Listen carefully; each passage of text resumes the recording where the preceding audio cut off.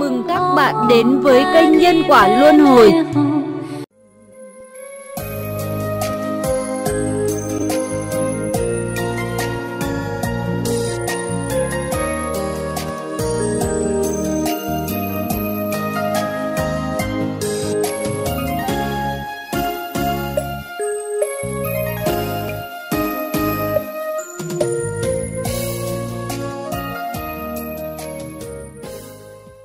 Phụ chú của người dịch Sách quả khanh biên soạn đến đây là hết. Những bài sau đây là người dịch từ tra cứu thêm. Cảm thấy khá thú vị, nên cho bổ sung vào để chia sẻ cùng quý độc giả. Hồi ức về buổi đầu gặp Ngài Tuyên Hóa Trước đây, tôi tự nghiên cứu Phật Pháp bằng cách xem sách Ngài Tuyên Hóa giảng và đọc kỹ Tứ Chủng Thanh Tịnh Minh Hối trong Kinh Lăng Nghiêm. Tu hành chính là nương vào chính mình bạn muốn tìm một người dẫn đường thì phải tìm người sáng đạo. Ngài tuyên hóa giảng kinh Lăng Nghiêm Thiện Thích rất hay. Bạn hãy tìm xem. Hiện nay có nhiều người giảng kinh Lăng Nghiêm, nhưng tôi xem thấy đa số giảng không chuẩn. Bởi bản thân họ không tu tốt, do họ còn ăn thịt, hút thuốc, uống rượu. Vì tu không viên mãn, cho nên không thể giảng viên mãn. Chỉ có người tu hành rốt ráo mới giảng viên mãn. Vì sao tôi bảo các bạn nên xem Ngài tuyên hóa giảng? Vì tôi tu không viên mãn nên tôi tuyệt đối không thể giảng viên mãn. Mấy bộ kinh Ngài tuyên hóa giảng, bạn xem có thể hiểu được. Nếu bạn chưa rành gì về đạo Pháp thì rất cần xem những kinh sách Ngài tuyên hóa giảng. Cần xem tứ chủng thanh tịnh minh hối. Người mới nhập Phật môn chưa biết tu hành, hãy y theo tứ chủng thanh tịnh minh hối mà tu. Đó là quang minh đại đạo. Nếu như tu hành đúng đắn, rất nhanh chứng đắc. Không phải tu cả đời mới chứng đắc, nhất là hiện nay. Hồi chưa học Phật, tôi rất ưa ăn thịt. Nhưng khi xem đến sách Ngài Tuyên Hóa Giảng, mới biết là thịt không được ăn. Nên không ăn nữa. Trước đó, chúng tôi tu tĩnh tọa. Tôi hướng dẫn cả nhà. Bình thường tĩnh tọa khoảng một tiếng. Mọi người tĩnh tọa xong thì đi ngủ. Phần tôi đáng lại xem kinh thư một chút. Lần đó, tôi đang xem sách Ngài Tuyên Hóa Giảng là Kinh Kim Cang Thiện Thích, thì bóng chuông điện thoại reo vang. Hôm ấy là 0 giờ 10 phút ngày 8 tháng 12 năm 1993. Lúc đó tôi công tác tại Tân Cương. Tôi nghĩ chắc là cấp trên gọi điện tới sắp công tác cho mình, nên rồi lấy thẻ ngăn trang làm dấu cuốn sách Kinh Kim Cang Thiện Thích rồi tiếp điện thoại. Trong điện thoại là giọng nữ, bởi vì lúc đó tiếp tuyến viên đều là nữ. Tôi nói, alo. Nghe bên kia không có hồi đáp, im lặng một hồi, sau đó thì vang lên âm thanh người già. Alo, có phải Dương Tiên Sinh không ạ? Sao là Dương Tiên Sinh? Lúc đó chưa có ai gọi tôi như vậy. Tôi hỏi, thưa là ai đó ạ? À? Tôi là tuyên hóa ở dạng Phật Thánh Thành, Mỹ Quốc. Chao ôi, tôi vừa nghe, lập tức đầu óc tỉnh rụi liền. Vì sao ư? Vì tôi bắt đầu nghiên cứu kinh Phật giáo thì đã chọn xem sách Ngài tuyên hóa. Cả nhà tôi đều quý sách Ngài, đều xúc động do thấy Ngài giảng quá hay, quá tuyệt, nên thử thắc mắc hỏi thầm, Ngài là bậc tái lai nào đây? Khi tôi vừa nghĩ thế thì trong óc liền xuất hiện một vị mặc y phục trắng, chính là Bồ Tát Quan Thế Âm. Do vậy tôi biết rằng Ngài chính là Bồ Tát Quan Thế Âm tái lại. Giờ đây trong điện thoại lại vang lên, tôi là tuyên quá. Thế thì quá thân Bồ Tát Quan Thế Âm đang gọi điện cho tôi rồi. Bạn đoán xem tôi bị kích động đến đâu. Tôi buộc miệng nói, chào sư phụ, nghe khỏe không? Tôi nói xong liền nghĩ mình chưa lễ bái làm đệ tử Ngài. Sao dội gọi là sư phụ, phải gọi Ngài là Pháp Sư. Ngài tuyên hóa giảng trong sách biết bao lần. Hãy gặp người xuất gia thì nên gọi Pháp Sư. Vì vậy tôi dội chữa lại như thế này. Con kính chào Pháp Sư. Ông đang làm gì vậy? Cô đang xem Kinh Kim Cang Thiện Thích của Ngài giảng. Ông đã xem qua các sách nào rồi? Dạ, cô đã xem Kinh Lăng Nghiêm Thiện Thích, Kinh Dược Sư Thiện Thích, Kinh Địa Tạng Thiện Thích lục tổ đàn kinh thiện thích. Tôi giảng không có vấn đề gì chứ. Và tuyệt lắm, sư phụ. Ngài giảng quá hay. Nhờ xem ngài giảng, bà con sáng tỏ thêm nhiều. Tốt lắm. Xem kinh nhiều thì tăng trí huệ mà. À, tôi xin mời ông qua Mỹ một chuyến. Sư phụ, để lúc con có đủ điều kiện, con nhất định sẽ qua bái kiến ngài. Nói vậy, chứ trong lòng tôi nghĩ, e rằng cả đời này mình có thực hiện được. Vì sao ư? Vì đi Mỹ tốn rất nhiều tiền, mà lúc ấy trong tay tôi đâu có tiền nhiều. Nhà tôi chỉ có ba vàng. Vào thời đó, trong nước tôi, những hộ có được vàng đồng cũng rất hiếm. Thế thì làm sao đâu có đủ tiền mà đi. Dù lương tháng của tôi cũng thuộc loại cao, nhưng tôi vẫn tiết kiệm, dính nhút để giành được ba vàng. Phần đó dành để chi cho quả đạt sau này. Vì vậy, hiện tại nếu tôi đi Mỹ, tôi không biết kiếm tiền vé phi cơ ở đâu. Mà đến Mỹ rồi, còn phải lo chi phí ăn ở và phải có tiền để cúng dường sư phụ nữa. Thế nên tôi nghĩ cả đời này e rằng mình khó mà qua Mỹ gặp ngài. Đang nghĩ như thế thì bên kia điện thoại nói Ông hãy qua Mỹ nha, tất cả chi phí đều do tôi lo liệu. Sư phụ, sao có thể như thế? Không phải Ngài đã giảng trong kinh sách, người tại gia nên cúng dường người xuất gia. Làm sao con có thể để Ngài chịu tiền vé được đi chứ? Tiền là ở nơi đại chúng, dùng cho đại chúng thì có gì là không thể. Mà tiểu dân khỏe hả? Tôi giật mình. Làm sao ngài biết tới tiểu dân và còn biết rằng số điện thoại của chúng tôi? Con gái tôi tên Dương Dân, nhưng chúng tôi thường kêu nó là tiểu dân. Nghe ngài hỏi về tiểu dân, tôi rất kinh ngạc. Chẳng đợi tôi nói câu nào, con gái tôi đang ngủ trong phòng do bị cuộc trò chuyện của tôi làm cho thức giấc. Nó dội ra ngoài đứng cạnh tôi. Cô tiếp điện thoại và nói Chào sư phụ, chào tiểu dân, còn biết tiếng Anh chứ?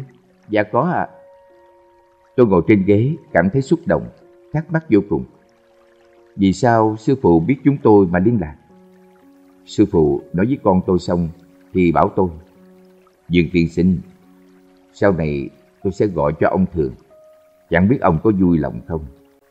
Tôi dội thưa, con rất vinh hạnh sư sư phụ. Sao ngài có thể biết điện thoại của con? Chà, điện thoại của ông chẳng phải là để cho người gọi hay sao? Tôi không còn lời gì để nói nữa. Từ hôm đó trở đi, mỗi ngày sư phụ gọi cho chúng tôi ít nhất một lần, nhiều thì bốn lần, bao gồm cả nhờ khám bệnh. Ngài bảo chúng tôi xem các đệ tử Ngài, kể cả chúng đệ tử Mỹ Quốc, thực có bệnh gì, là do nguyên nhân gì, đa số đều gia quả lâm xem. Trước đây có một cô gái ở nước ngoài tìm chúng tôi khám bệnh. Con tôi nói, bạn không cần báo cáo tình huống với chúng tôi. Bạn đừng sợ khi thấy chúng tôi biết hết những việc xấu bạn đã làm. Mặc dù điều này khiến bạn khó khăn, nhưng việc phát lộ và chân thành ăn năn sám hối sẽ giúp tiêu tội nghiệp.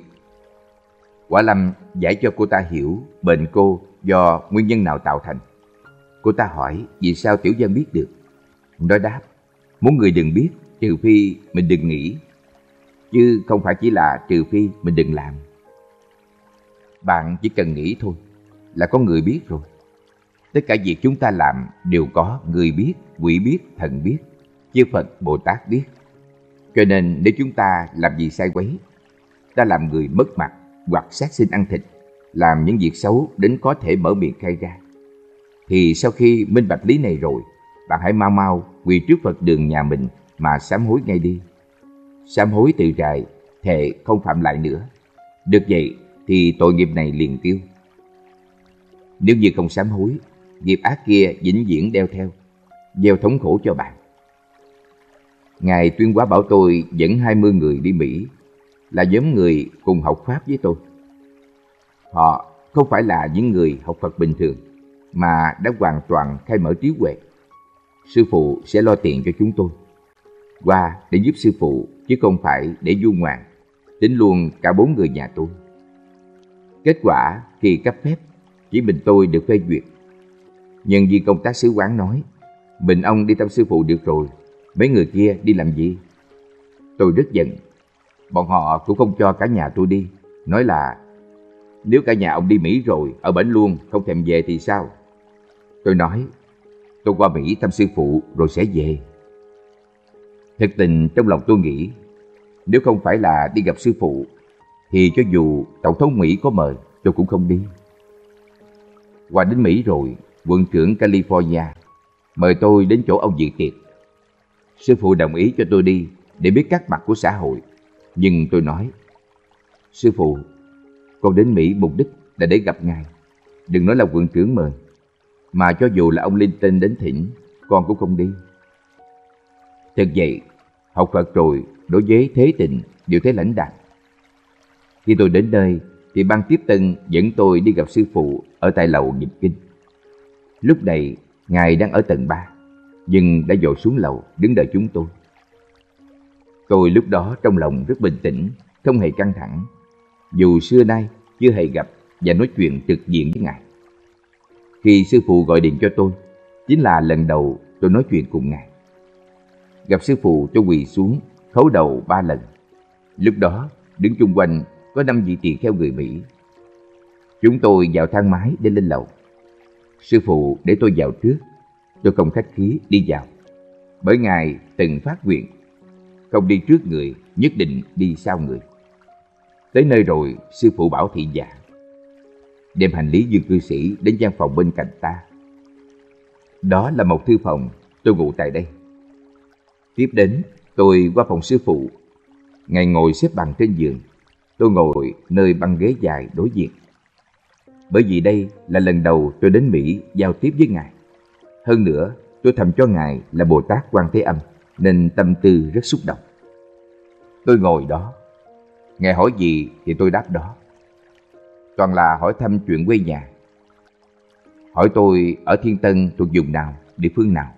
Tôi trả lời mà có cảm giác như đang trò chuyện cùng bậc cha mẹ hay với người rất thân thiết.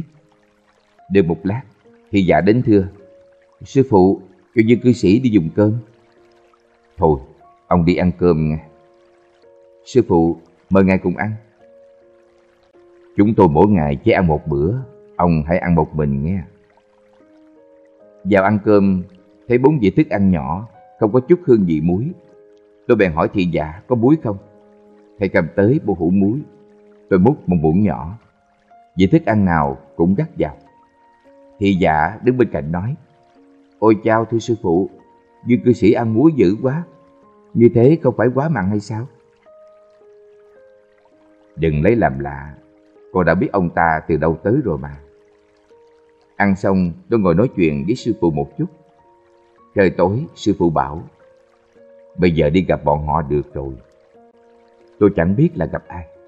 Bởi lúc đến, tôi thấy chỉ có năm thầy tỳ kheo đang đứng, không thấy ai khác. Tôi nghĩ chắc là đi gặp mấy người này. Tôi nói, dạ được. Khi cửa thang máy mở ra, âm thanh mấy trăm vị niệm Phật vọng vào lỗ tai tôi. Lúc ở trong thang máy, tôi không nghe thấy vì cửa thang máy kín mật nên ở trong không nghe thấy gì. Tôi thầm nghĩ, ôi chao, phải gặp đông người như thế hay sao? Sư phụ dẫn tôi tiến vào một ngôi kiến trúc là hội đường. Khi chúng tôi vào, mọi người đều đứng lên, toàn bộ đối diện nhau. Ở giữa có lối đi, phía trước là đại chủ tọa. Chúng tôi đi từ hậu điện tiến ra phía trước. Sư phụ vừa vào, tất cả biến thành âm thanh Phật hiệu. Tôi thấy trong đây, phía bên hữu là tỳ kheo ni đứng trước. Mặt toàn hoàng y, rất đông.